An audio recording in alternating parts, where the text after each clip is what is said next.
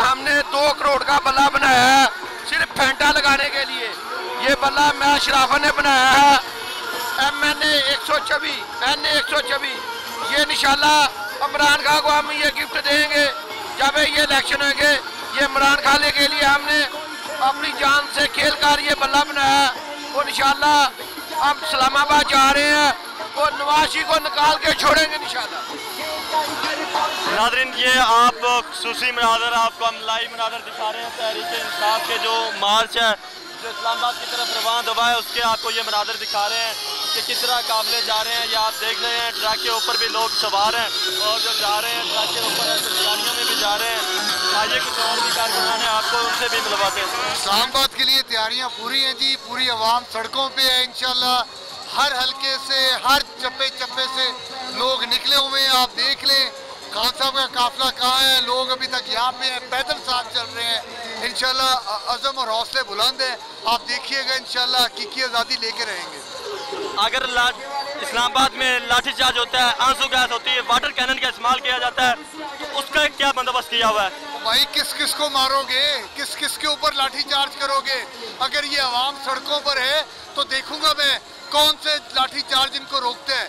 ये वो लोग हैं जो अपनी हकीकी आज़ादी के लिए ला इला मोहम्मद रसूलुल्लाह का नारा सीनों में लेकर निकले हैं और देखिएगा इंशाल्लाह कामयाबी इमरान खान की है। आप अपने हल्के से कितनी आवाम लेके आए हैं? कितनी गाड़ियाँ कितने लोग लेके आए हैं? मुझे इतना पता है ज़िला कसूर से बेतहाशा आवाम पीछे भी खड़ी हुई है इधर भी खड़ी है उधर भी खड़ी है।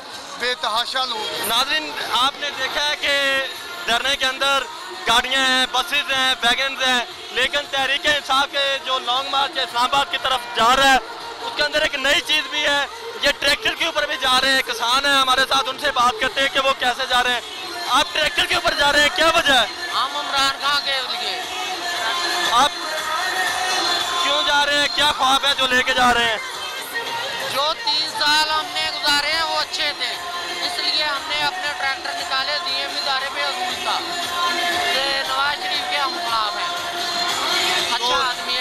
जो आप ट्रैक्टर के अंदर पेट्रोल डाल के जा रहे हैं ये अपनी जेब से डलवाया? अपनी जेब से। हमारे तीन चार ट्रैक्टर हैं अभी। कहाँ से आए हैं? फैसलाबाद से। आप फैसलाबाद से स्पेशल आए हैं लाहौर में और लाहौर से जा रहे हैं आप इस्लामाबाद की तरफ़। इस्लामाबाद की तरफ़। किस हल्के से आपका ताल्लुक है? हमारा पीपी अठानवे से। कितनी तैयारियों के साथ इस्लामाबाद जा रहे हैं। तैयारियों के साथ जा रहे हैं इंशाल्लाह और ये आज़ादी मार्च में हम कामयाबी के साथ वापस लौटेंगे।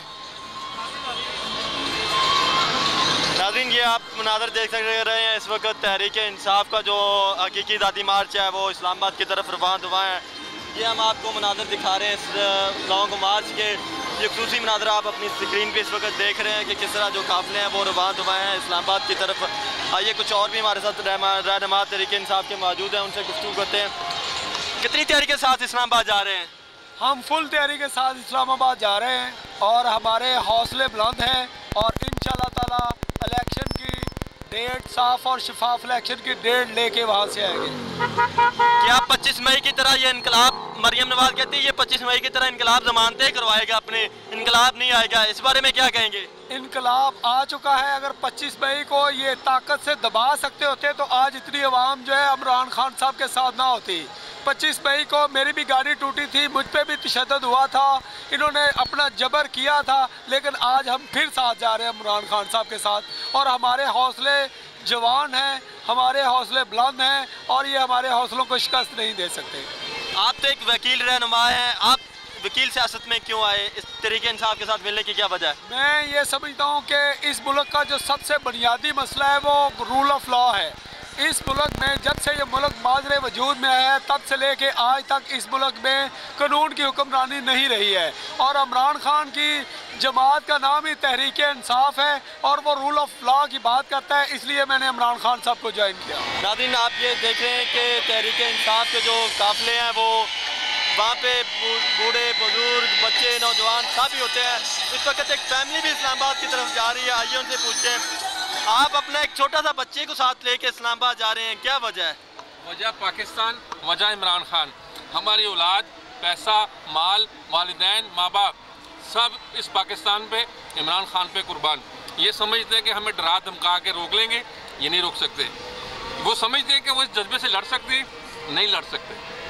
टक्कर के लोग मिले हैं। माएँ तो अपने बच्चों के बारे में बहुत सेंसिटिव होती हैं। आप छोटे छोटे बच्चों को साथ लेके जा रहे हैं इसकी क्या वजह है? इसकी वजह यही है कि हमें पता है कि इन ताला ये हमारे कौम का मुस्तकबिल जो इमरान खान के हाथ में। इन ताला हमारे लिए सब अच्छा ही होगा। हमें इस चीज़ से डर नहीं लगता है। ना हमें डराए, ना हम डरने के लिए आए ये बच्चों की स्कूल भेजने की होती है, माएँ बड़ी सेंसिटिव होती हैं। मैंने अपने बच्चे को किसी अच्छी अकेडमी में भेजना है, किसी अच्छे स्कूल में भेजना है। आप इनको लेके एक सियासी मार्च में जा रहे हैं, इसकी क्या वजह है? सियासी मार्च नहीं है, ये आज़ादी मार्च है। अगर हम आज़ाद रहेंगे तो उनको पढ़ा भी लेंगे। लेकिन अगर ये गुलाम रहे ना तो लानत ऐसी तालीम पर, ऐसे मुआश पर तायर लाहौती उस रिस्क से मौत अच्छी जिस रिस्क से आती हो प्रवास में कोताही आप क्या कहेंगे इस बारे में? मैं भी इस बारे में यही कहूँगी कि ये बच्चे जो हैं ये इस कौम का मुस्तकबिल है। अगर हम इनको लेकर अभी नहीं निकलेंगे इनको अभी नहीं समझाएँगे तो मेरे ख्याल से इन्हें कभी समझ नहीं आएगी। हमारे साथ ये छोटे नन्हे पुरस्कार भी मौजूद है। कहाँ जा रहे हैं? किस लिए जा रहे हैं? इमरान खान। किस लिए बताया है ये मार्च का?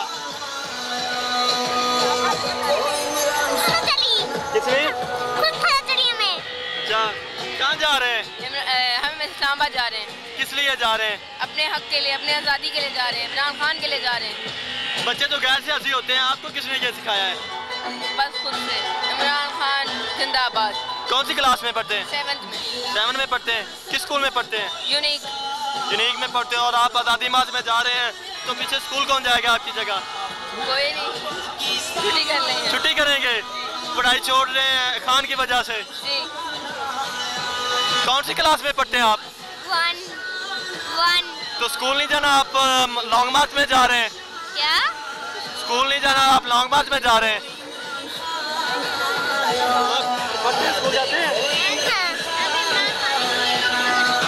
नाज़रीन ये है वो जज्बा ये है वो जुनून ये है हकीकी जाती।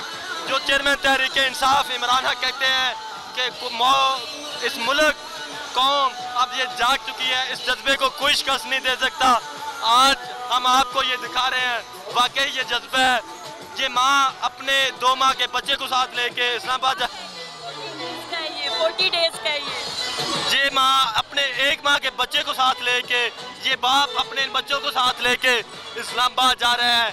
तीन साल का बच्चा, पाँच साल का बच्चा, सात साल का बच्चा जो इस वक्त हकीकी दादी मार की तरफ़ जा रहे हैं। ये है वो खान साहब की कामयाबी जो वो कहते हैं, अब कौम जा चुकी है वाकई कौम जा गई है। हम आपको ये दिखा रहे हैं कि ये बच्चे, ये वाकई मुल्क की तकदीर अब बदलेगी, अब इनकलाब आएगा। कहते हैं जब कौम की जूझ आ गया है, उस मुल्क में इनकलाब आ जाता है तो वाकई आज इनकलाब है, ये इनकलाब है जो हम आपको दिखा रहे हैं। ये लाइव मनाजर हैं जो इस्लामाबाद की तरफ़ हकीकी जाती मार जा रहा है। उसके ये मनाजर है, किस तरह छोटे छोटे बच्चे हैं जो वो जा रहे हैं हकीकी जाती मार्च में। ये है वो इनकलाब। ये बसेज जहाँ पे जिसमें खवातन सवार होकर इस्लामाबाद की तरफ़ मार्च कर रही हैं।